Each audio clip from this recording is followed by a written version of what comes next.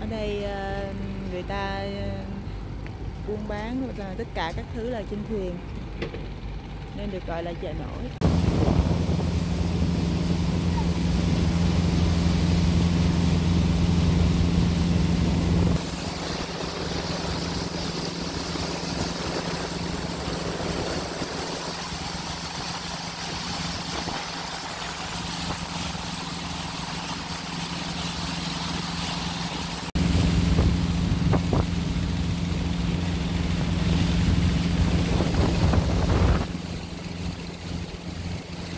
có cầu vòng kìa.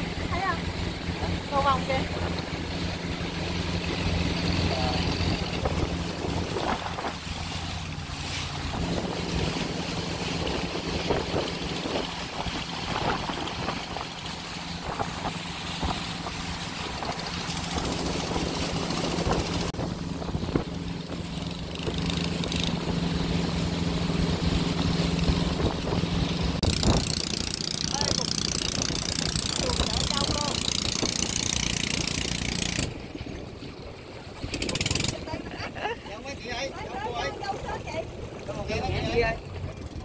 À, trước là đầu giờ nổi hả?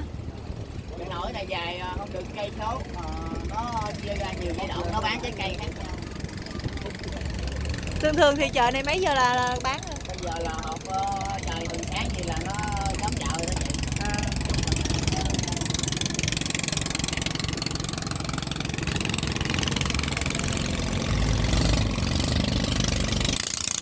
Đằng kia chợ thơm nè Ờ, chợ nổi này là như là cái chợ đầu mối à, sầu riêng nè. À, những ghe như thế này là bán à, bán lẻ nè ha. À bán lẻ.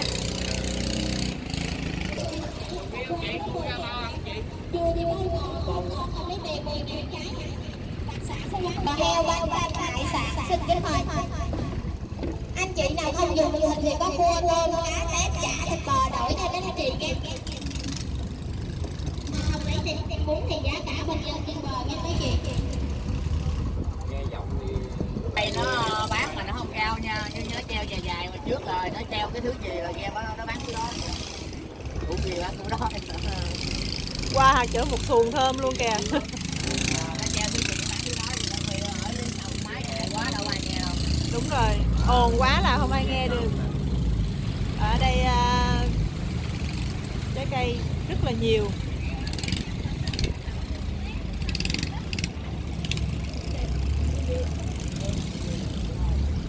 Tính tính chưa? Hả? Chưa tỉnh táo nữa hả? tin chưa vậy hả tin? Vậy đi, vậy tham quan này con kìa. ở đây thì à, tự cặp vô mình nó bán luôn.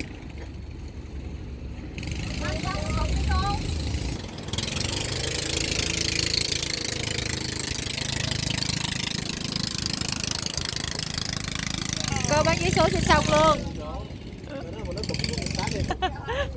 Wow bí ngô nè bí ngô bí ngô. Anh kia cũng bí ngô luôn.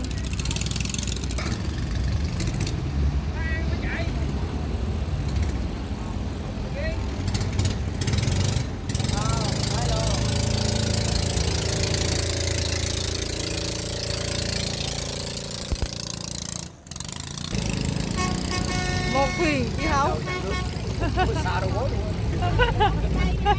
à dưa hấu nè rồi dân thường cũng tuột luôn á. Nó nghiêng qua nghiêng lại. Tuột lắm. Dưa hấu thiệt chứ không phải dưa hấu giả nha. hàng Việt Nam hàng Việt Nam. Trên đó kẹt xe kẹt xe. Giá gì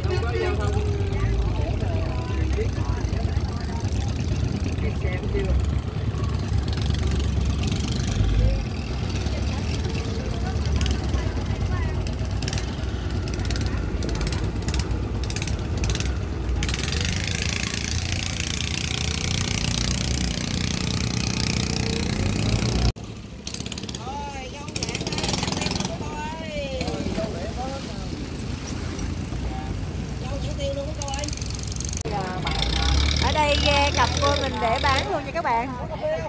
Sáng trên bè luôn nha.